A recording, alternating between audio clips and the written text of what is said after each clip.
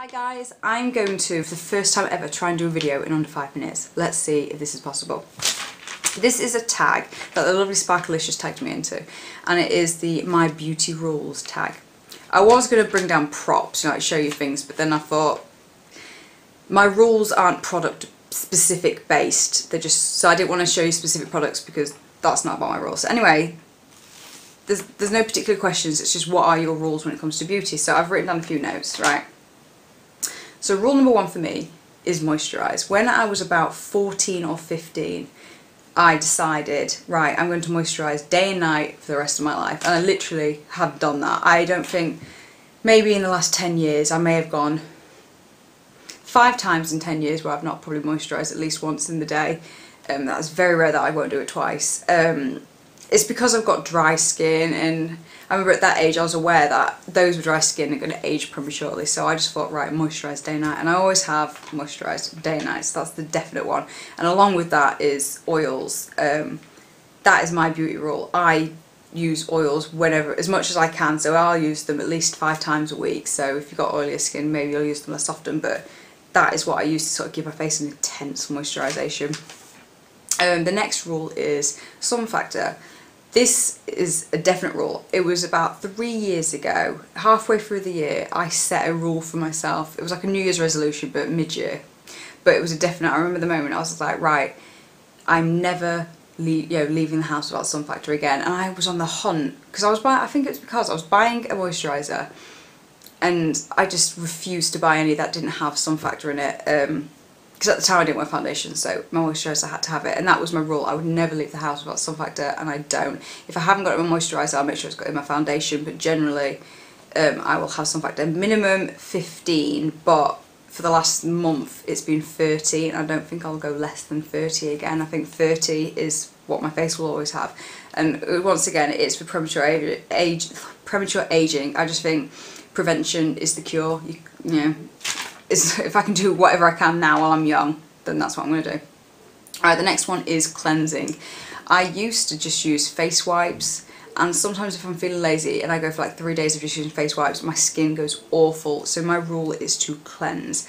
I haven't gone to bed with my makeup on for years and years. It's the one thing, no matter how drunk I am, I will come in, even if I don't give my face a proper sort of cleanse and polish, as long as I get a wipe and I sort of wipe all the foundation off and get all the concealer off under my eyes and like eyeshadow off, if I've got mascara left on, fair enough.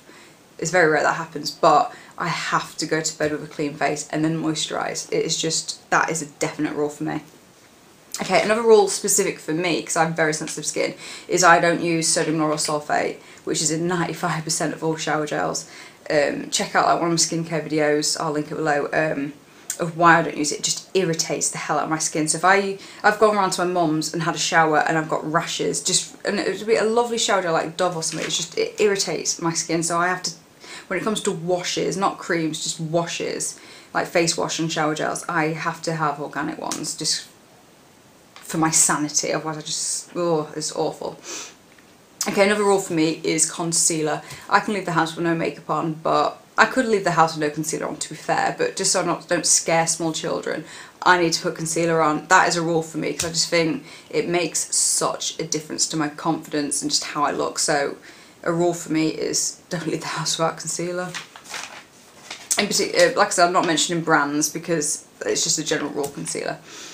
Um, the next one is shampoo. Like I mentioned, for me it's organic because it irritates my scalp so much but the rule specific to shampoo is to change up. If you use the same shampoo for like two three weeks your hair, I don't know what it is, it goes greasy, sometimes it goes dry, it just goes. I find if I change my shampoo and then go back to what I was using, it's all gorgeous again. And I'm looking online and doing research on that, your hair just becomes immune to it. Um, so it stops doing what it's supposed to do. So if you just switch up your shampoo, that is a rule for me as well. So always have like three on the go. Um, the last rule is only use heat on my hair when I really need to. I 95% of the time let my hair dry naturally. I tend to wash my hair at night, then when I go to bed it's damp and I purposely lay on the pillow so it's all down so it goes flat. Um, I only hair dry my hair if like someone says right let's go out tonight and I've got a hairdryer because generally I'll wash my hair the night before and then I'll curl it that night. Otherwise, I've got to hair dry my hair and then curl it, so that's like too much, twice as much heat in one night. So where I can avoid hair drying and curling, I will. But obviously for the night out and that, I'll have to straighten it or curl it. Um, and then with that is always use heat protection. That is a definite rule. And it really bugs me when I go to a hairdresser's and they don't put heat protection. You know, when you've had a student and they don't put heat protection on your hair, I'm just sat there going. And I have to say to him, look, can you put heat protection on my hair, please? I kind of like my hair. Um, so that is a definite rule, is always use heat protection. So anything to save it. Um, ever since I stopped dyeing my hair, I've noticed I don't really get much split ends, so I'm trying to look after my hair, so that is a definite rule for me. So um, they are my beauty rules. I wanted to make it quick and not show you props and stuff. I can see we've just got over five minutes, but um, yeah, that is yeah, that's all of them. So, the people I tag in this, let me think. Lauren Alice, Style So Coy, you need to do some more tags, and Kerry from Pretty Little Things. Um, I tag you specifically, but um, all do this tag because um, I like to know what your beauty rules are. So, um, I will see you in my next video. Bye.